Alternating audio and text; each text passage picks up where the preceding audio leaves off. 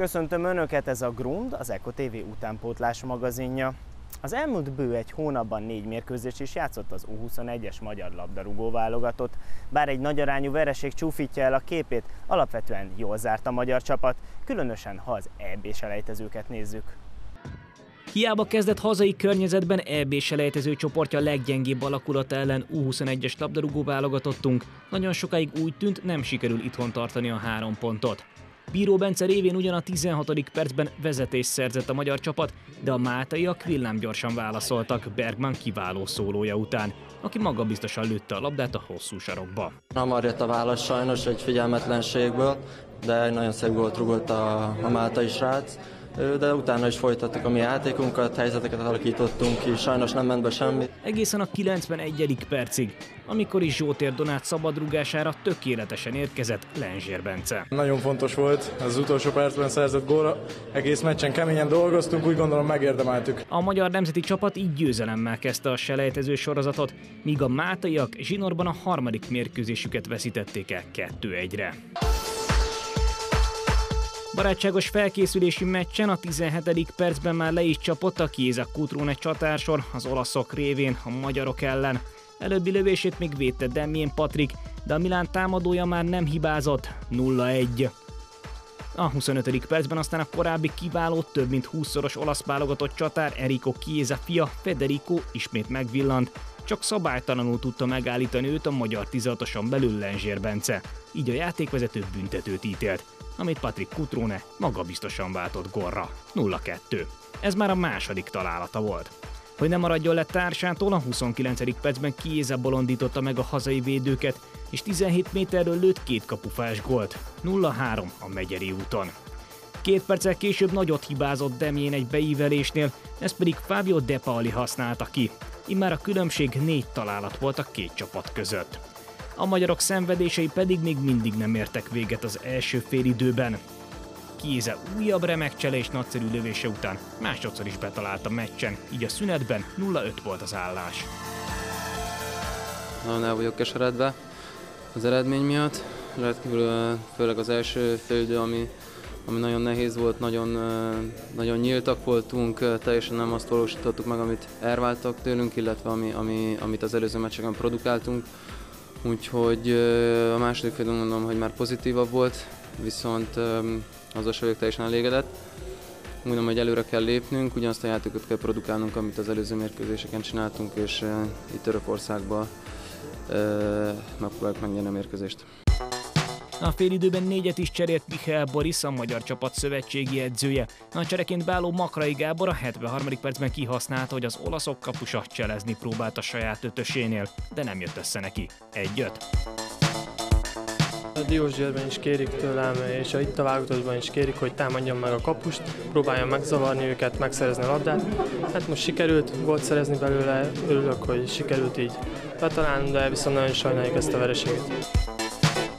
Az olaszok aztán szereztek egy újabb gólt Matteo Pessina olózása után, Andrea Favilli vette be a magyar kaput. A 88. percben Szivacski Donát harcolt ki egy büntetőt Elio Capradossival szemben, amit Makrai váltott górra, aki így duplázott. A második félidő tehát megnyerte a magyar válogatott, a mérkőzést azonban 6-2-re elveszítette. A második félidőben agresszívabbak voltunk, jobban játszottunk a középpályán, és az egész csapat jól futballozott. Kielemezzük a meccset, aztán utazunk Törökországba, és remélem úgy játszunk, mint a második félidőben, nem úgy, mint az elsőben. Bár a főpróba borzasztóan sikerült, az előadás már sokkal jobban. Ugyan Törökországban sem tudott nyerni a válogatott, de a mutatott játék sokkal jobb volt, és végül 0-0-ás döntetten tért el Isztambulban. Így két meccs után négy pont alá selejtező csoportjában.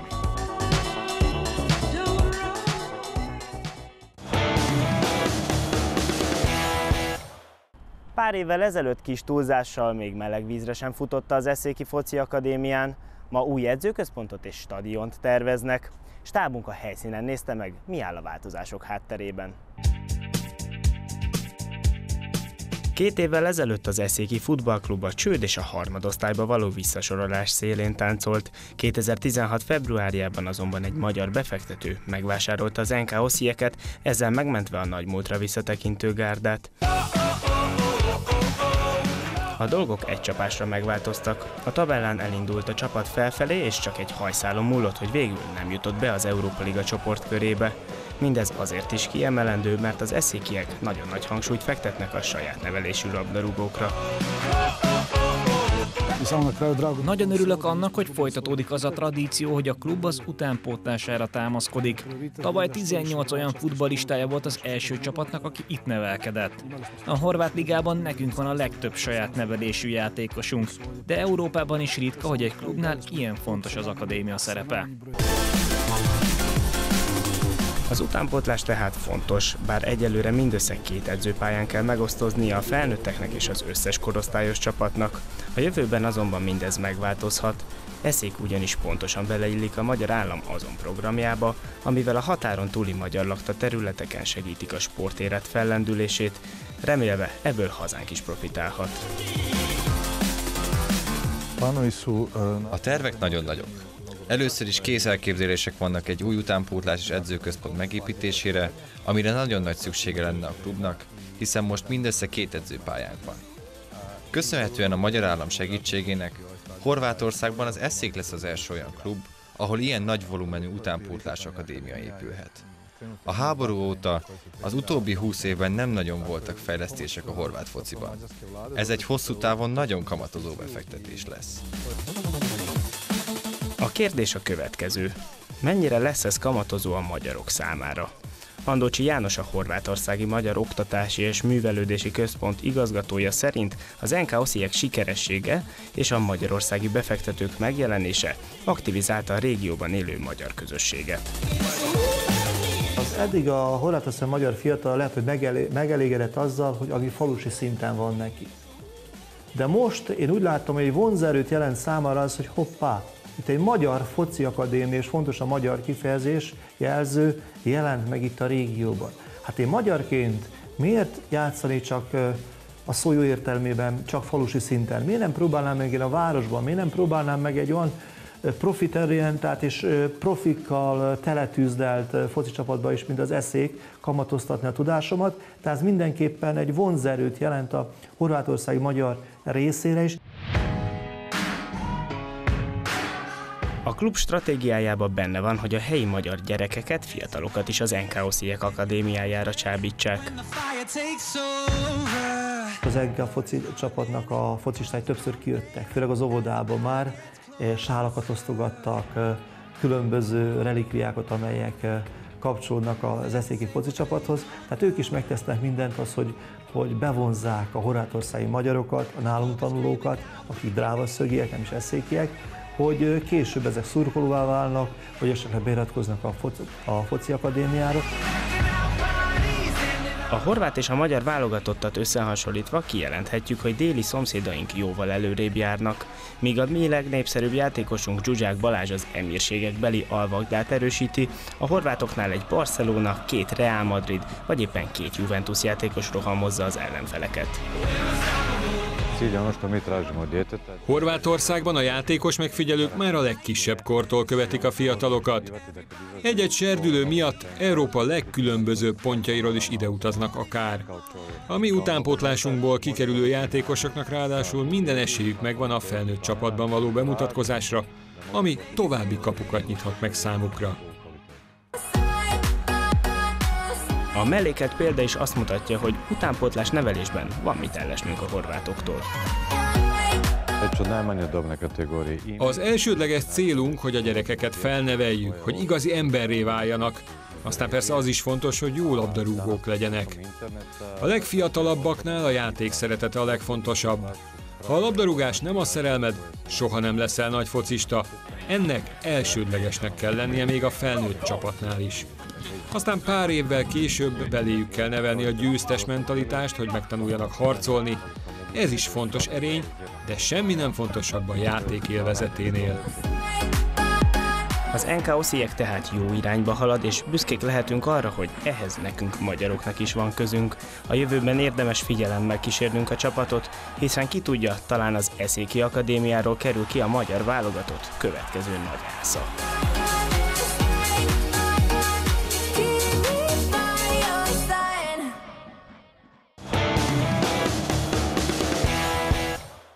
Újabb nagy világversenynek adott otthont Magyarország. Budapesten rendezték a Kadét Tékvándó Európa bajnokságot. A magyar csapat sikeresen érmekkel zárta a viadalt. Egy arany és egy bronzérmet nyertek a magyar fiatalok a budapesti Kadett Tékvándó Európa bajnokságon. A 12-14 éves korosztály kontinensi oldalán Molnár Viktor Vendegúz lett aranyérmes, méghozzá 33 kg-os súlycsoportban. Galambos Bence tanítványa előbb aranyponttal vert egy orosz versenyzőt, majd nem bírt vele francia, újabb orosz és ukrán ellenfelesen. A megelőző versenyek az Európa-bajnokság előtt nem úgy sikerültek, ahogy kellett volna. Nyilvánvalóan ez azért mentálisan, egy, főleg egy kisgyereknek, tehát ebbe a korban nem, nem mindig pozitív, ezért a, a verseny előtt azért több volt bennünk a kérdőjel, mint amennyi szokott lenni. Én azt gondolom, hogy egy menet kellett az Európa-bajnokságon, az első menet, mert ott szintén egy orosz fiúval verekedtünk, az nem olyan volt, mint amit terveztünk, de azóta én azt gondolom, hogy, hogy a koncentráció, a, a, ahogy hozzááll a bunyóhoz, tehát a mentalitás és a technika az mind működőképes, és reméljük, hogy ennek aranyérem lesz a vége aranyérem lett a vége. Abban pedig csak bizakodhatunk, hogy Bendegúz nevét néhány év múlva az egész világ megismeri. Egyik legnehezebb meccsem az a első meccs volt, hiszen ott ő, aranyponttal ő, ő, nyertem, ami azt jelenti, hogy három menetig döntetlen volt az állás, és a negyedik menetbe, a legutolsó menetbe, aki hamarabb megrúgja a pontot, az nyer, és én rúgtam meg. Ezért nagyon nehéz meccs volt, és még a második legnehezebb szerintem a döntő volt, ott egy ponttal nyertem. Az EB másik érmét az első éves kadettként versenyző mindössze 12 éves Halász Dóra szállította, aki a 29 kg-os súlycsoportban egy orosz és egy olasz ellenfél legyőzése után a későbbi aranyérmes némettől szenvedett vereséget és lett bronzérmes. Azért uh, voltam szomorú, mert hogy uh, bronzérem lett, mert uh, uh, azt a lányt, akitől kikaptam, uh, az első g 1 tőle kikaptam, és most az lett volna a célom, hogy ne kapjak ki, de majd máskor fordul a kocka. Az Európa-bajnokságon 42 ország 461 versenyzője indult. Mi, magyarok 13 fővel képviseltettük magunkat. A válogatott vezetőedzője, Néma Norbert a kontinens torna előtt is kiegyezett volna a két éremmel.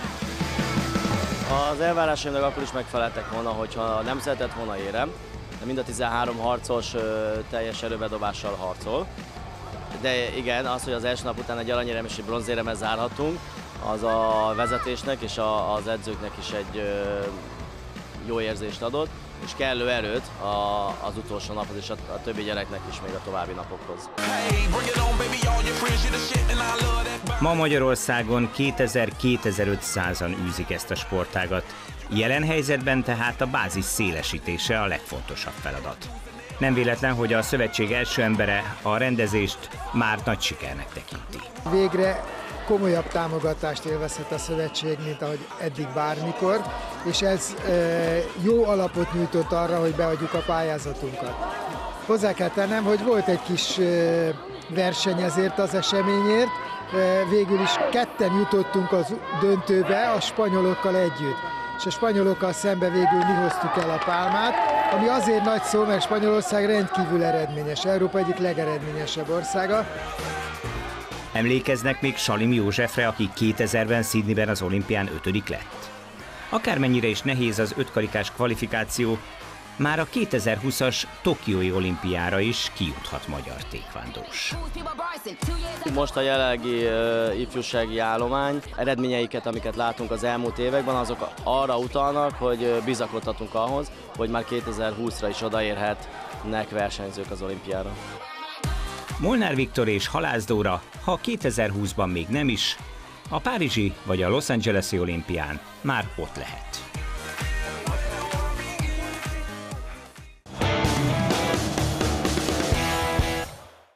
Húsz aranyjal, 22 ezüsttel és 30 bronzéremmel zárta a magyar kickbox válogatott az utánpótlás Európa-bajnokságot Skopjéban. Ez az érem táblázat második helyére volt elég az oroszok mögött.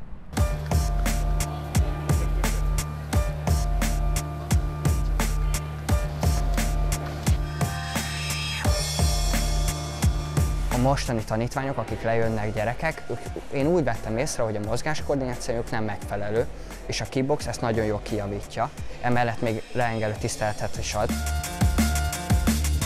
A magyar kickbox versenyzők az utánpótlás Európa-bajnokságon minden idők legjobb eredményét szerezték.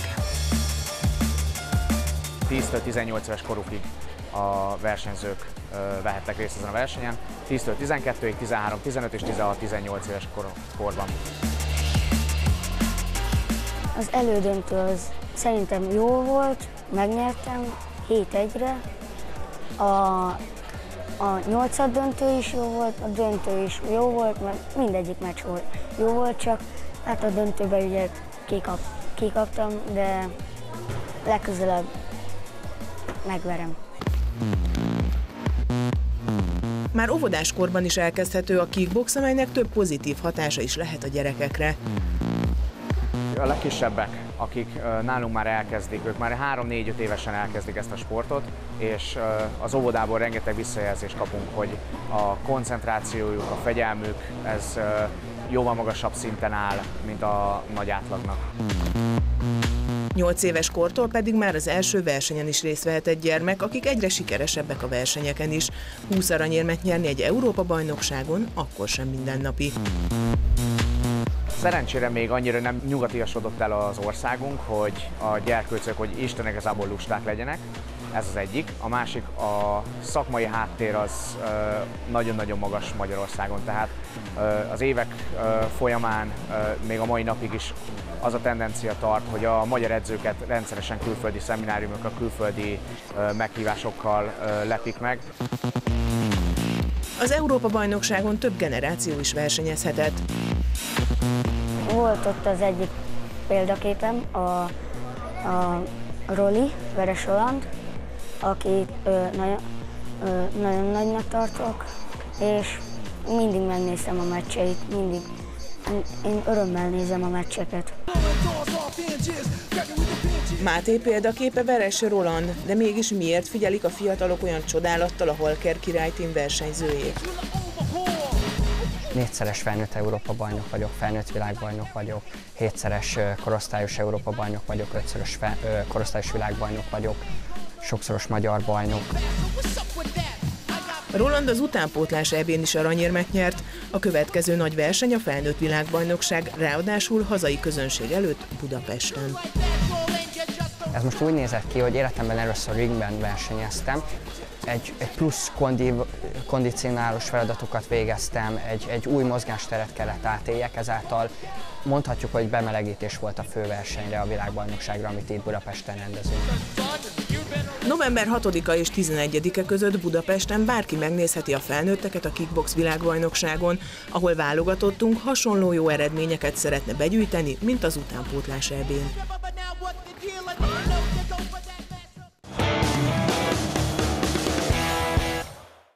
A maximális 10 fővel száll harcba az Európa bajnoki címekért az ifjúsági ökölvívó válogatott. Balzsai Károly szövetségi kapitány érmeket vál a fiatal boxolóktól.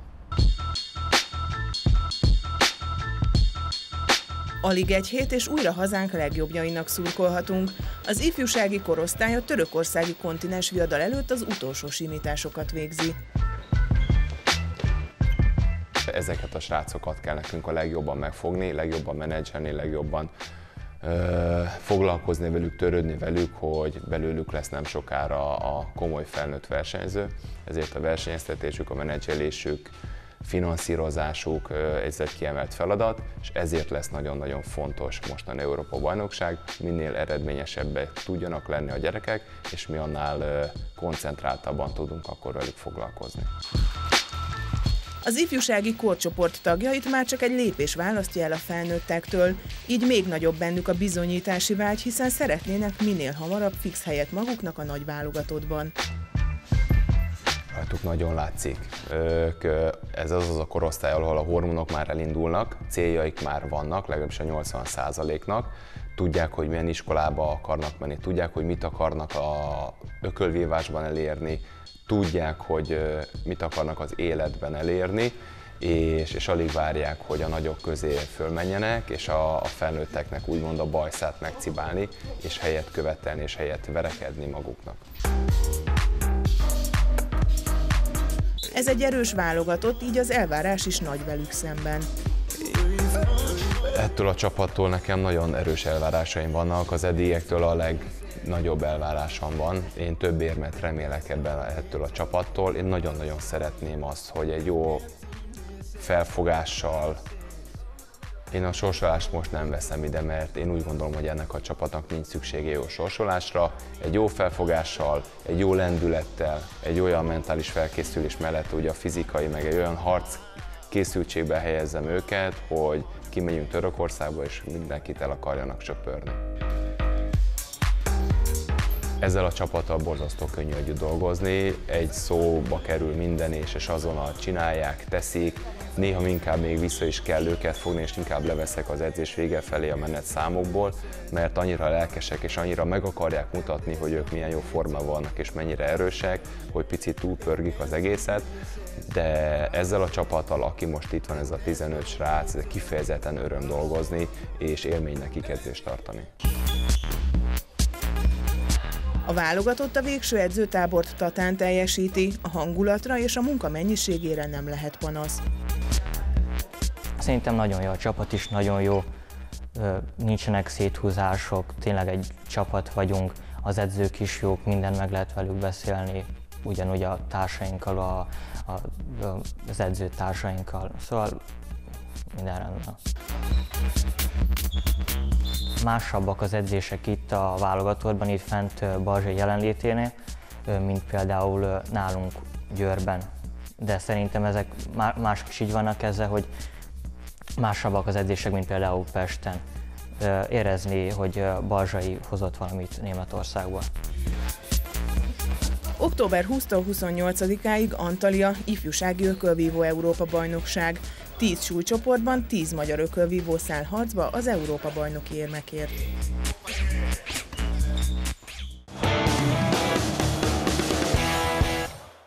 Ennyi volt már a Grund, legközelebb november végén várjuk Önöket. Tartsanak velünk akkor is, viszontlátásra!